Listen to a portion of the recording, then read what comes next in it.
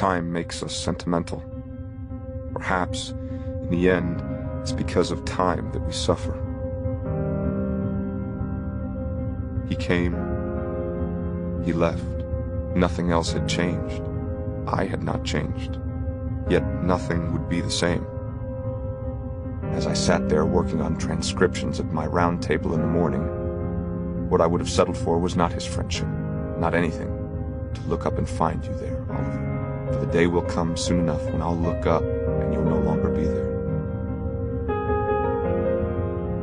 If he knew, if he only knew that I was giving him every chance to put two and two together and come up with a bigger number than infinity. This felt special, like showing someone your private chapel, your secret haunt.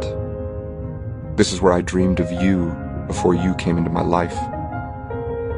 I wanted him to remember the morning on Monet's berm when I'd kissed him, not the first, but the second time can't stand the silence. I need to speak to you. Grow up. I'll see you at midnight. I'm so glad you came.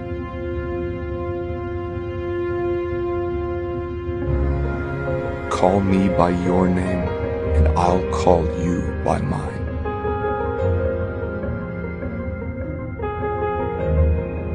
for you in silence, somewhere in Italy in the mid 80s. I wanted someone to look through his books one day, open up this tiny volume of Armand's and ask, Tell me who was in silence, somewhere in Italy in the mid 80s. Just two words. Cor cordium. Heart of hearts. Are you sorry I came? I'd hold you and kiss you if I could me too. Light of my eyes. Light of the world. That's what you are. This was the best person I'd ever known in my life. I had chosen him well. We had found the stars, this is given once only. You are my homecoming. When I'm with you and we're well together, there's nothing more I want. Don't let him have a life other than the life I know he has with us, with me. Don't let me lose him. Whom else would I ever be able to call by my name? There's a spot on Via Santa Maria dell'Anima that I revisit every time I'm in Rome.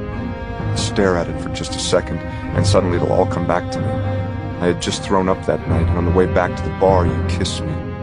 That kiss is still imprinted there. Thank goodness. It's all I have from you.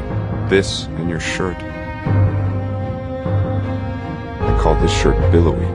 You wore it on your first day here. It has more of you than me.